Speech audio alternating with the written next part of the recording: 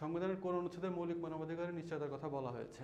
আমরা জানি সংবিধানের এগারো নম্বর অনুচ্ছেদে কি বলা আছে? প্রজাতন্ত্র হবে একটি গণতন্ত্র যেখানে মৌলিক মানবাধিকার ও স্বাধীনতার নিশ্চয়তা থাকবে। বাকিটা একটু দেখে নেন। জাতিসংঘ উন্নয়ন কর্মসূচি সুশাসন নিশ্চিতকরণে কয়টি উপাদানের কথা উল্লেখ করেছে? ইউএনডিপি নয়টি উপাদানের কথা উল্লেখ করেছে। নিচের কোনটি রাজনৈতিক মূল্যবোধ, আনুগত্য প্রদর্শন? একটু খেয়াল করে দেখেন, বাকি কোনোটাই কিন্তু আসলে হওয়ার মতো না, আনুগত্য প্রদর্শন ছাড়া। মূল্যবোধ হলো আবেগ এবং আদর্শগত ঐক্যের বোধ। এই উক্তিটি কার? ফ্রাঙ্কেলের। উক্তি প্রতি বছর দুইটা থেকে তিনটা আসবে। বেসিক বই থেকে এগুলো পড়বেন। এখন মানুষ বাল্য বিবাহকে অপছন্দ করে। এটা কোন ধরনের মূল্যবোধ? মানে আগে পছন্দ করতো। দেখেন, মূল্যবোধের একটা সংজ্ঞা কিন্তু আছে যে এটা সময়ের থেকে সময় চেঞ্জ হয়, দেশ থেকে দেশ চেঞ্জ হয়।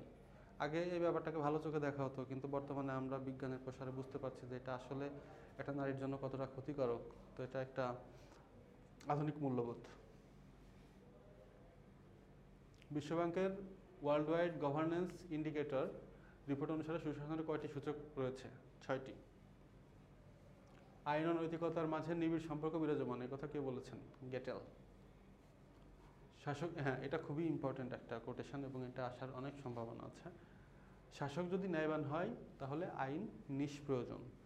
আর শাসক যদি দুর্নীতিপরায়ণ হয়, তাহলে আইন নিরর্থক, এ কথাটি বলেছে প্লেটো। আমলাতান্ত্রিক অবস্থানের দিক দিয়ে এশিয়ায় সবচেয়ে দক্ষিণ এশিয়ায় সবচেয়ে ভালো অবস্থানে আছে সিঙ্গাপুর।